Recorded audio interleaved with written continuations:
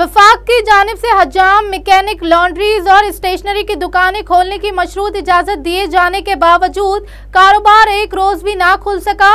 वज़ीर अला सिंध ने लॉकडाउन में मजीद सख्ती का ऐलान करने के साथ साथ खुलने वाली दुकानें बंद करने का हुक्म दे दिया। मजीद तफसीत सुमेर राजपूत की इस रिपोर्ट में। वफाक के नोटिफिकेशन के इजरा के बाद तवील लॉकडाउन से मुतासर कराची के हजाम और मकैनिक खिलते चेहरों के साथ घरों से निकले और सुबह से ही अपने कारोबार का आगाज़ कर दिया। तहम कुछ घंटों में ही उनसे उनकी खुशियाँ छीन ली गई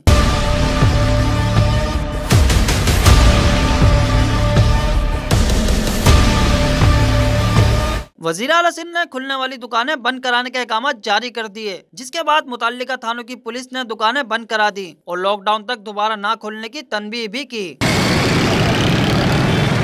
जिसके बाद काम की गर्ज से अपने गाँव से दोबारा कराची आने वाले हजाम मजीद मुश्किल में घिर गए। दूसरी जानब मोटरसाइकिल मैकेनिक्स की भी मिली जुली सूरत हाल रही। छोटे से केबिन के ज़रिए काम करने वाले मकैनिक भी रुल गए। बीस बाईस दिन हो गए।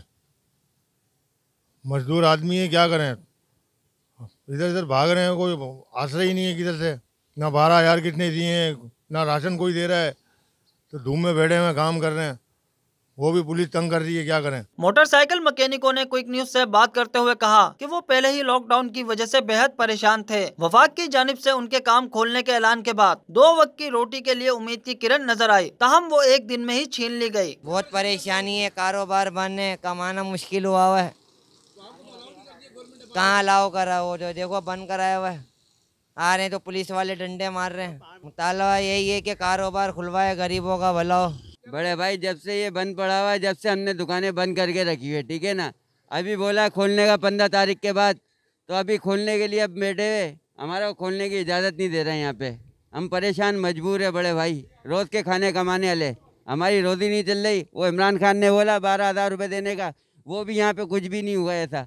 हमारे को परेशानी परेशानी है। बहुत परेशान है हमारे घर में राशन भी नहीं है खाने को। और पुलिस वाले डंडे मार मार के बाहर निकाल रहे मारो यहाँ से। बोले काम नहीं करने दे रहे मारो मोबाइल आती है मारो तंग करती है मोबाइल।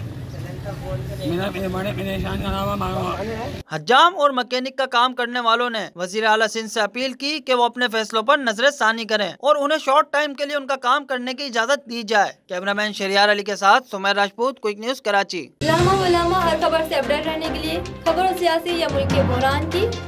या हो आपके मुरझाए हुए चेहरे पर मुस्कुराहट लाने की बात। हम बनेंगे आपकी आवाज़। सब्सक्राइब कीजिए पाकिस्तान के सबसे बड़े वेब टीवी क्विक न्यूज़ को। और बेल आइकन दबाना ना भूलें। ताकि आपको लेटेस्ट अपडेट मिलती रहे।